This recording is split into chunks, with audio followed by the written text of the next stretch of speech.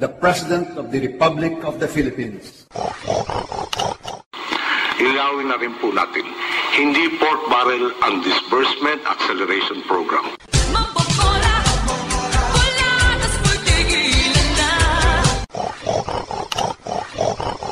Hindi kami nagnakaw at hindi kami magnanakaw. Magnanakaw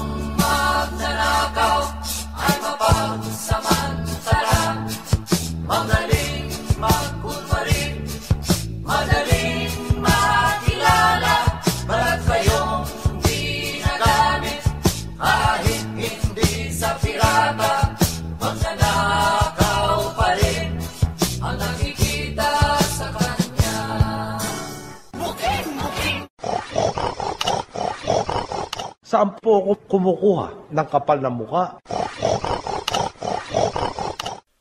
Mga kababayan, i-abolish ang pork barrel.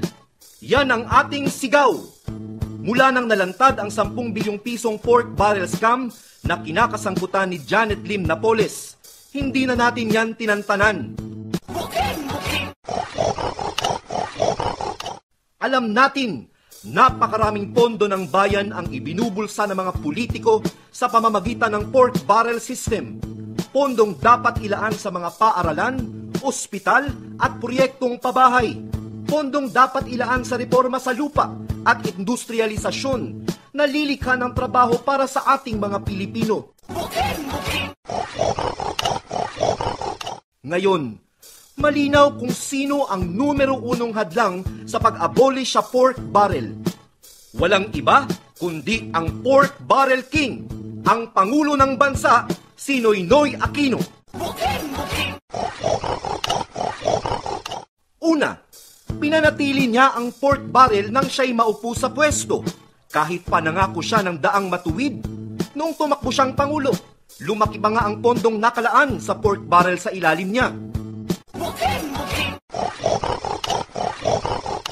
Ikalawa, itinulak niya ang napakalaking pork barrel niya sa pambansang budget sa 2014. 1.3 trilyong piso na pork barrel sa kabuang 2.6 trilyong pisong budget o halos kalahati.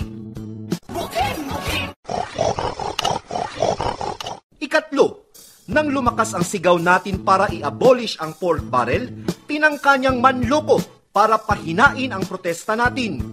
Bubuwagin daw ang PIDAF, ang pork barrel ng mga kongresista at senador. Sinungaling! Binago lang ang katawagan.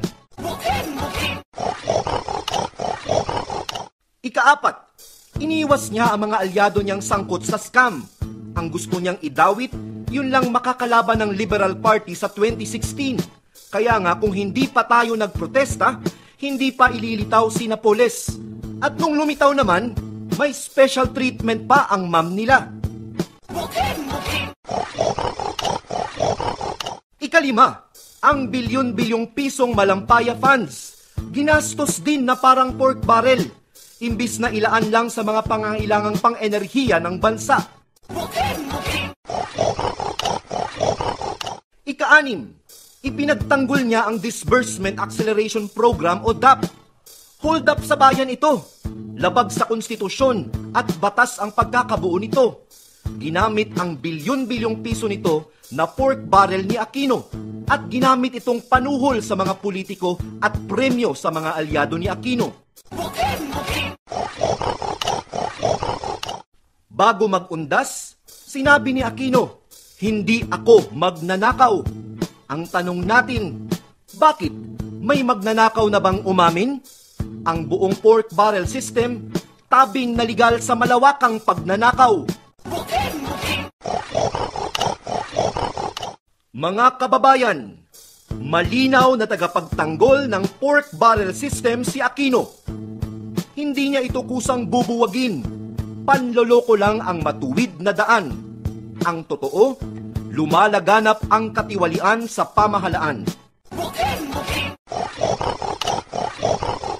Kaya naman tinatawagan tayo, KKK, kumalampag kontra kurakot, magprotesta, magingay, mga lampag para ibasura ang pork barrel at dalhin ang pondo sa mga serbisyo.